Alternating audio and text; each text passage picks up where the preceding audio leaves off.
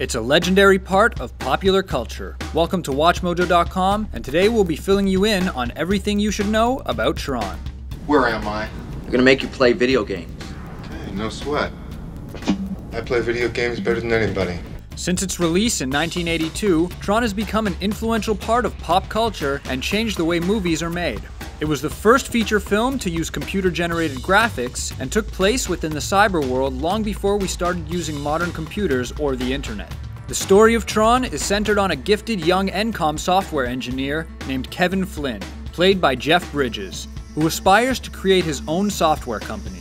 As the story begins, we learn that Flynn has created his own series of cutting edge games. However, another programmer named Dillinger steals his work and passes it off as his own, earning himself a huge promotion. And thus begins his meteoric rise to what is he now, executive VP? Senior exec. As a result, Flynn fled the company to open his own arcade and dedicate his time to hacking into their mainframe computer to find evidence of the theft. However, Dillinger's supercomputer, Master Control Program, stops his every attempt. Flynn decides to enlist the help of his programmer friends Laura and her boyfriend Alan to help him break into ENCOM to shut down the Master Control Program.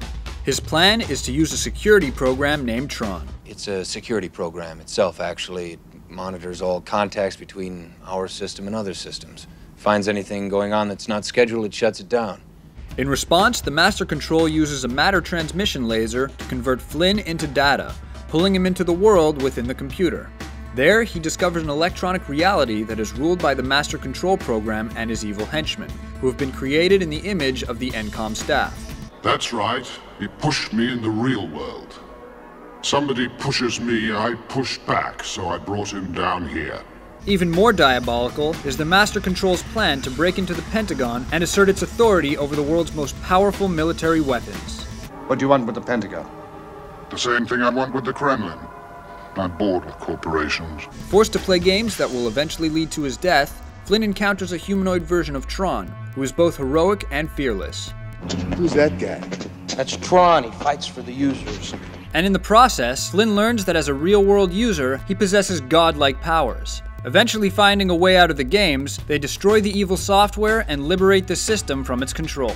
Returning to the real world, Flynn discovers the evidence he needs and uses it to become the CEO of the corporation. While the adventure was dazzling for its time, its sequel, Tron Legacy, which is set 28 years after the events of the first film, is centered on Kevin's son Sam.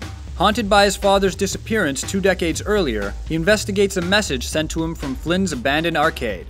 There, he discovers his father's hidden research and is pulled into cyberspace. Once digitized, he reunites with his dad, who's become trapped in a much more advanced computer system. Together, the pair must embark on a deadly journey across an incredibly massive digital universe. Combating new challenges and facing awe inspiring technological creations, they must stop a ruthless duplicate of Kevin called Clu 2.